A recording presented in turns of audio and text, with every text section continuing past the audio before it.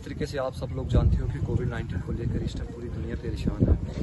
हमें बड़े दुख के साथ आज बच्चों को यहाँ पे स्ट्राइक करने का मौका मिला। मैं आपके मीडिया के चैनल्स का बहुत शुक्रगुजार हूँ। थैंक्स फॉर कि आपने कीमती टाइम निकाला पूरे मासूम बच्चों की बात जो है आप हुक्मरानों तक पहुँचा आज आपको पता है हेल्थ एमरजेंसी चल रही है। जहाँ पे इटली और ईरान और बाहर के मुल्क में, अमेरिका जैसे मुल्क में, जो आपने आपको सुपर पावर समझते थे, आज वो भी घुटनों के बाल आ गए किस लिए आए? इस कोविड 19 की वजह से। आप एक आम आदमी, एक आम मजदूर, एक घर का आदमी है, आप उसको हेल्थ प्रैक्टिस दे रहे हो कोविड 19 से लड़ने के लिए। पर जहाँ एक जो कोविड 19 को समझते हैं, जो दिन रात काम कर रहे थे, आपने उनको टर्मिनेट कर दिया और उस सिचुएशन पे किया जहाँ पे आज भी हमें हेल्थ की जो बड़ी प्रॉब्लम्स आ रही हैं, ये बड़े दुख की बात है। और मैं आपके दिमाग में एक बार बैठाना चाहता हूँ S R O twenty four में पाँच मेडिकल कॉलेज थे। और बड़े दुख की बात कहना चाह रहा हूँ मैं, चिड़ा गया तो सिर्फ़ रजौरी और कठुआ के मेडिकल कारों को चिड़ा गया।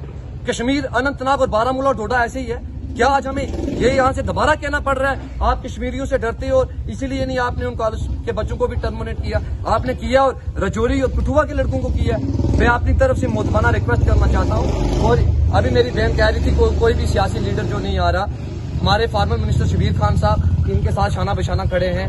आज़ाद साहब तक मेल गई है। कांग्रेस पार्टी और युवा कांग्रेस इनके साथ खड़ी है। मैं मोदबाना रिक्वेस्ट करना चाहता हूँ कि आप इनको जल्दी रीस्टेट करें। रीस्टेट करने से ये कोविड 19 के लिए सुबह शाम लड़ रहे थे। क्या सरकार को आज यही वक्त मिला था इनको टर्मिनेट करने का?